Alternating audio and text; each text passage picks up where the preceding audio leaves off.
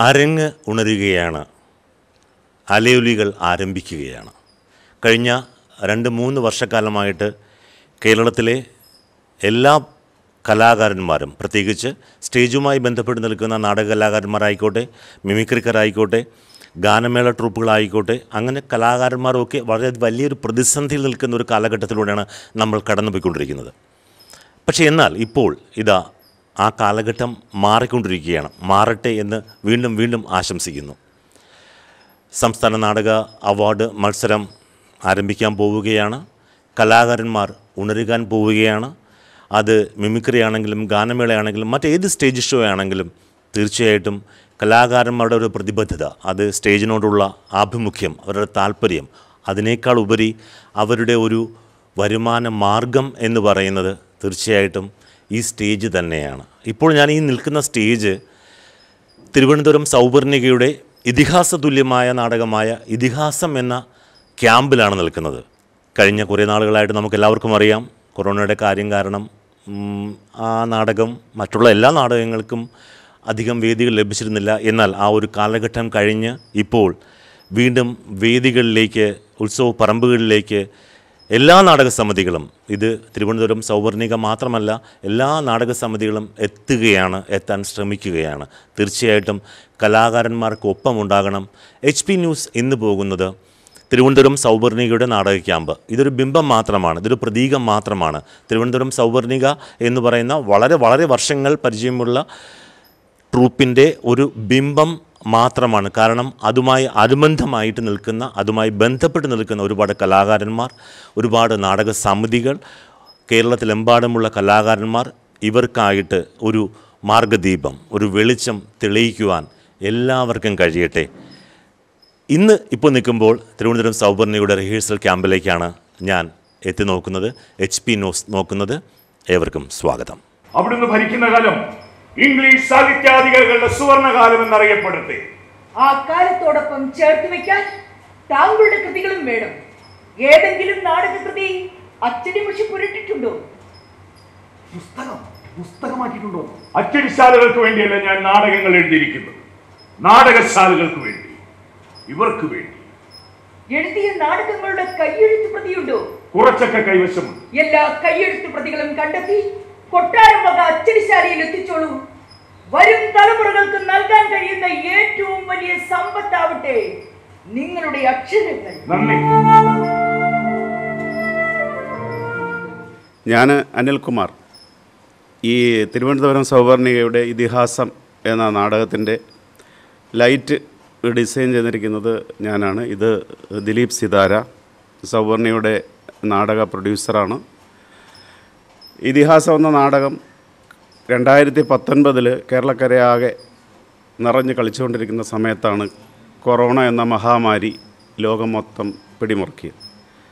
അപ്പോൾ അതിന്റെ എല്ലാ കഷ്ടതകളും നഷ്ടങ്ങളും ലോകത്തെല്ലാവരും അനുഭവിച്ച പോലെ തന്നെ നാടകക്കാർക്കും മറ്റുള്ള എല്ലാ വേദിയിലുള്ള എല്ലാ രംഗത്തുള്ള കലാകാരന്മാരെയും ഭീകരമായി ബാധിച്ചു.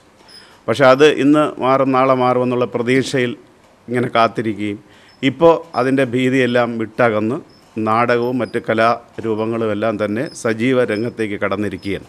അപ്പോൾ ഇതിഹാസം വീണ്ടും അവതരിപ്പിക്കാൻ പോവുകയാണ്. അതിന്റെ റിഹേഴ്സലാണ് ഇവിടെ നടക്കുന്നത്. ഈ നാടകം രചനയും സംവിധാനവും നിർവഹിച്ചിരിക്കുന്നത് അശോക് ശശിമാരാണ്. മൂന്ന് നാല് സംസ്ഥാന അവാർഡുകൾ കരസ്ഥമാക്കിയിട്ടുള്ള അശോക് ശശിമാരുടെ ഒരു മികച്ച നാടകമാണ് ഇതിഹാസമെന്ന് കേരളക്കരയാകെ വിലയിരുത്തി കഴിഞ്ഞു. എന്നാലും അതിന്റെ ഭൂരിഭാഗം പ്രദേശങ്ങളിൽ ഈ നാടകം കളിച്ചിട്ടില്ല ഇനിയും കളിക്കാനുണ്ട്. ഏതായാലും ഇരുപത്താറാം തീയതി മുതൽ അരങ്ങുകളെല്ലാം സജീവമായി തുടങ്ങുകയാണ്. എന്നാലും ഒരു സങ്കടം ബാക്കി. നാടകക്കാരിലേറെ പറയാൻ? പറഞ്ഞോളൂ വില്യം. നാടകക്കാരിൽ ഏറെ പേരും ദാരിദ്ര്യത്തിലാണ്. പ്ലേഗും പ്രളയമൊക്കെ പലപ്പോഴും അവരുടെ ജീവിതത്തെ ദുരന്തക്കടലിലേക്ക് തള്ളിവിടാറുണ്ട്. ഞങ്ങൾ നാടകക്കാർക്ക് മാന്യമായ സംരക്ഷണവും പദവിയും നൽകി അനുഗ്രഹിക്കണം നാടകാന്ത്യം ദാരിദ്ര്യമാണ് ഏറെ പേർ. തീർച്ചയായും താങ്കളെ പോലുള്ള നാടകക്കാരെ സംരക്ഷിക്കേണ്ടത് എക്കാലത്തെയും അധികാരികളുടെ കടമയാവണം എന്റെ പ്രിയ സുഹൃത്ത് പ്രസാദിനെ പരിചയപ്പെടുത്തുകയാണ്. പ്രസാദ് സംസ്ഥാന അവാർഡ് ജേതാവാണ്. മലയാള പ്രൊഫഷണൽ നാടക രംഗത്ത് ഹാസ്യ നടനുള്ള ആദ്യ അവാർഡ് നേടിയ പ്രസാദ്. പ്രസാദ് പാലം എന്നാണ് നമ്മളൊക്കെ വിളിക്കുന്നത്. പ്രസാദേ നമസ്കാരം. നമസ്കാരം. പണ്ടത്തെ കാര്യം ഞാൻ ചോദിക്കുന്നില്ല. എന്ത് തോന്നുന്നു ഇപ്പോൾ ഇതിഹാസത്തിന്റെ റിഹേഴ്സൽ ക്യാമ്പിൽ പ്രത്യേകിച്ച് സൗവർണികമായിട്ട് ഇത്രയും വർഷം നിൽക്കുമ്പോൾ എന്താണ് പ്രസാദിന്റെ ഒരു ഫീലിങ്സ് കൊറോണ കാലം ഒരുപാട് കഷ്ടപ്പാടുണ്ടായിരുന്നു. അപ്പോൾ അതൊക്കെ കഴിഞ്ഞതായിപ്പം വീണ്ടും നമ്മൾ ഇതിഹാസത്തിന്റെ റിഹേഴ്സലിൽ ചേർന്നിരിക്കുകയാണ്. അപ്പോൾ ഇനി ഈ ഇരുപത്താറാം തീയതി മുതൽ നമ്മൾ വീണ്ടും സജീവമാവും എന്നാണ് എല്ലാവരുടെയും പ്രതീക്ഷ. ഞാൻ ഉൾപ്പെടെ.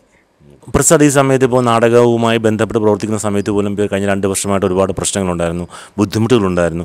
പ്രസാദിനെ പോലുള്ള സാധാരണക്കാരനായ ഒരു വ്യക്തി സാധാരണ ജോലിക്ക് പോകുന്നു. എന്താണ് അതിനെക്കുറിച്ച് പറയാനുള്ളത്? എന്നെ സംബന്ധിച്ച് ഞാൻ ഈ ജോലി ജോലി നാടകമായിട്ട് ബന്ധപ്പെട്ടിരിക്കുന്ന ആളാണ്. എന്താണ് ജോലി? ജോലി കൊത്തപ്പണിയാണ്. അപ്പം അതുകൊണ്ട് എനിക്ക് വലിയ വിഷയമായിട്ട് തോന്നുന്നില്ല. ഇല്ല ബാക്കിയുള്ള എല്ലാവർക്കും അങ്ങനെ പോകാൻ കഴിയില്ല. നമസ്കാരം. എന്റെ പേര് ടോണി എന്നാണ്.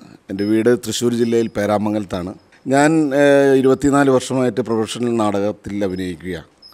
ഇപ്പോൾ സൗബർണികയിലാണ് തിരുവനന്തപുരം സൗബർണയുടെ നാടക ക്യാമ്പിലാണ് ഞാനുള്ളത്.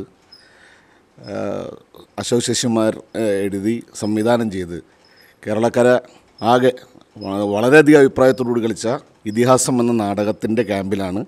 കോവിഡ് കാരണം നിർത്തിവെക്കുകയും വീണ്ടും മാനസികമായും സാമ്പത്തികമായും ശാരീരികമായും തകർന്ന ഞങ്ങളുടെ അവസ്ഥ വീണ്ടും മാറി കിട്ടുമെന്ന പ്രതീക്ഷയോടെ ഞങ്ങൾ വെഞ്ഞാറമൂട് രംഗപ്രഭാതിലെ നാടക ക്യാമ്പിൽ എല്ലാവരും എത്തിയിരിക്കുകയാണ്. വളരെ പ്രതീക്ഷയിലാണ് പുതിയ ഒരു നാടക സീസൺ. മുമ്പ് എങ്ങനെയായിരുന്നു നാടകം ജനം സ്വീകരിച്ചത്? അതേ രീതിയിൽ ജനം സ്വീകരിക്കുകയും സാഹചര്യങ്ങൾ ശരിയാവുമെന്ന പ്രതീക്ഷയോടുകൂടി ഞങ്ങൾ ഇവിടെ റിഹേഴ്സൽ ക്യാമ്പിൽ ഒത്തുകൂടി ഇരുപത്തിയാറാം തീയതി പത്ത് മണിക്ക് സംഗീത നാടക അക്കാദമിയുടെ ഓഡിറ്റോറിയത്തിൽ ഇതിഹാസം മത്സരത്തിന് ഞങ്ങൾ അവതരിപ്പിക്കും. എല്ലാവരുടെയും സ്നേഹവും പ്രോത്സാഹനവും ഞങ്ങൾക്കുണ്ടാവണം.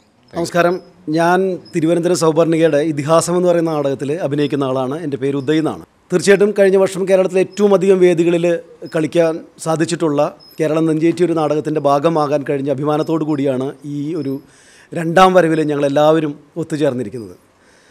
ഈ നാടകം ഇല്ലാതാകുമ്പോൾ സ്വാഭാവികമായിട്ടും കേരളത്തിലുണ്ടാകുന്നത് ആർട്ടിസ്റ്റുകളുടെ ദുരന്തവും ദുഃഖങ്ങളും മാത്രമല്ല. കേരളത്തിന്റെ ഒരു സാംസ്കാരിക തനിമ തന്നെ പിന്നോട്ട് പോകുന്ന രീതിയിലുള്ള അവസ്ഥയിലേക്കാണ് നാട് പോവുക. തീർച്ചയായിട്ടും അതൊക്കെ മാറി നല്ല ഒരു നാളയിലേക്ക് തിരിച്ചെത്തുക എന്ന് പറയുന്നൊരു പ്രാർത്ഥനയും ഞങ്ങളുടെ കൂടെയുണ്ട്. ഒരുപാട് നാടക രംഗത്ത് തന്നെയുള്ള ഒരുപാട് പേർക്ക് ഒരുപാട് ഒരുപാട് പ്രശ്നങ്ങൾ ഉണ്ടായിട്ടുണ്ട് ഒരുപാട് മരണങ്ങളുണ്ടായിട്ടുണ്ട്. ഇതൊക്കെ പിന്നെ അവസാ അതിനൊക്കെ ഒരു അവസാനം വന്നു എന്ന് തോന്നുന്ന രീതിയിലാണ് ഇപ്പോൾ ഇരുപത്തിയാറാം തീയതി മുതൽ കേരള സംഗീത നാടക അക്കാദമിയുടെ സംസ്ഥാന പ്രൊഫഷണൽ നാടക മത്സരം ആരംഭിക്കുകയാണ്. അവിടെ നിന്ന് അങ്ങോട്ട് കേരളം ആ പഴയ ഉത്സവ കാലഘട്ടത്തിലേക്ക് തിരിച്ചെത്തുന്നു എന്ന് തന്നെ പറയാം. ഒരുപാട് ഒരുപാട് ഭാഗങ്ങളിൽ നിന്ന് കേരളത്തിന്റെ നാനാഭാഗത്തു നിന്നും പിന്നെ നാടകത്തിന് വേണ്ടിയിട്ടുള്ള അന്വേഷണങ്ങൾ ആരംഭിച്ചു.